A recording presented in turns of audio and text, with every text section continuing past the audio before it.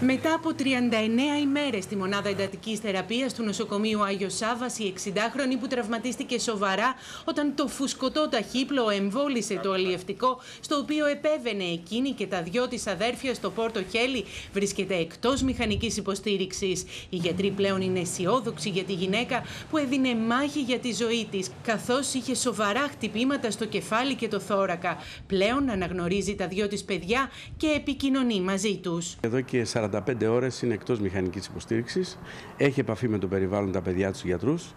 Είναι μια πολύ καλή εξέλιξη.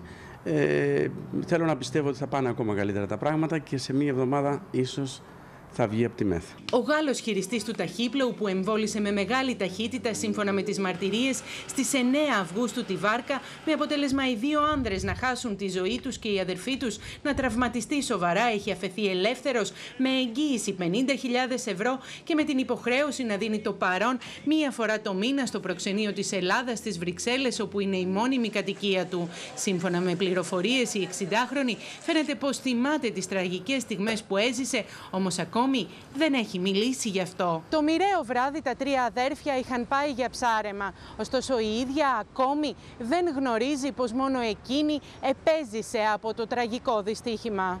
Η έρευνα για τα αίτια της τραγωδίας βρίσκεται στα χέρια της ανακρίτριας και αναμένεται να ολοκληρωθεί τις επόμενες εβδομάδες.